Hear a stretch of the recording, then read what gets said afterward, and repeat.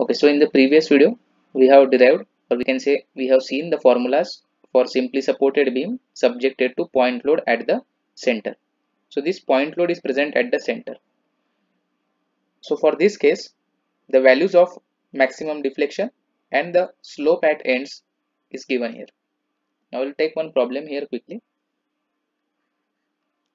So write down a beam is simply supported a beam is simply supported as shown in the figure.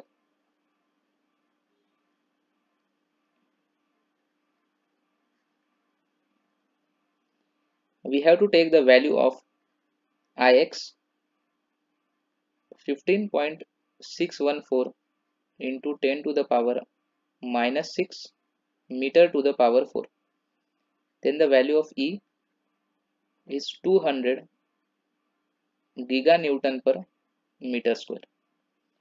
And what we have to find here is find maximum deflection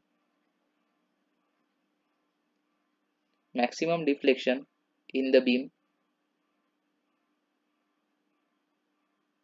and slope at both the ends of beam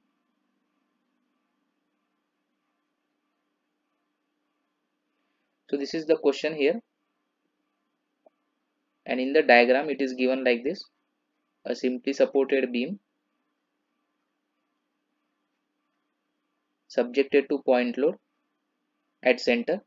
The value of point load is 30 kilonewton. This distance is 1.5 meter. And this is also 1.5 meter. So this is the question now here we'll first denote the points here. This is the point AB and the center point will denote with C. What is the total length of the beam? 1.5 plus 1.5 3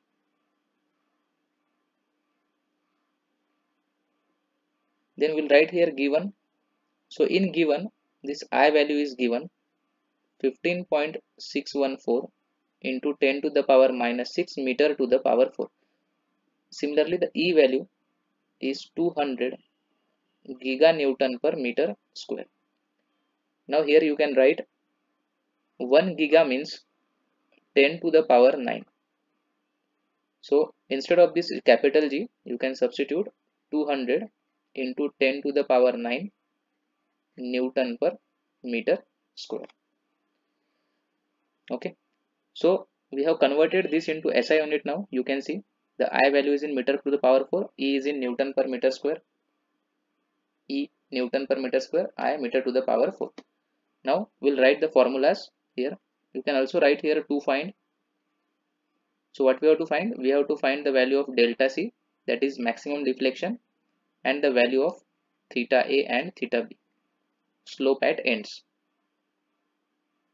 So first delta max maximum deflection the formula is PL cube by 48 EI so P value is 30 so here you can see it is kilonewton 30 kilonewton. 1 kilo means 10 to the power 3 or 1000 so we'll substitute here 10 to the power 3 kilo into L cube. What is the value of L. L is 3 meter. So it is 3 cube divided by 48 into E value E is 200 into 10 to the power 9 I value is 15.614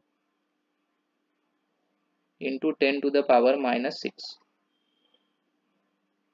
so calculate this. After calculation you should get 5.4 into 10 to the power minus 3 now what is the unit for this? So pay attention. Here the all values we have taken it in. We have taken it in SI unit so the value of deflection also will come in the SI unit. That is it will come in meter.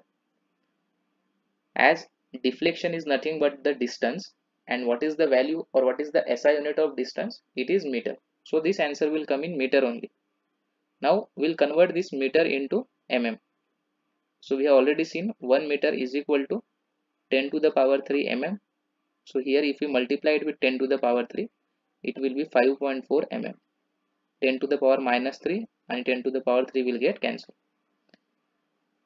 Now second is theta a and this theta b. These both are same and the formula for this is pl square by 16 el substituting everything so p value 30 into 10 to the power 3 l value 3 square divided by 16 into 200 15.614 into 10 to the power minus 6 calculating this you will get the answer as 5.4 into 10 to the power minus 3 and this is not in degrees here okay? This value will come in radians. Very very important. Theta is always coming in radians. So this is the answer. So this is the value of maximum deflection and this is the value of slope at ends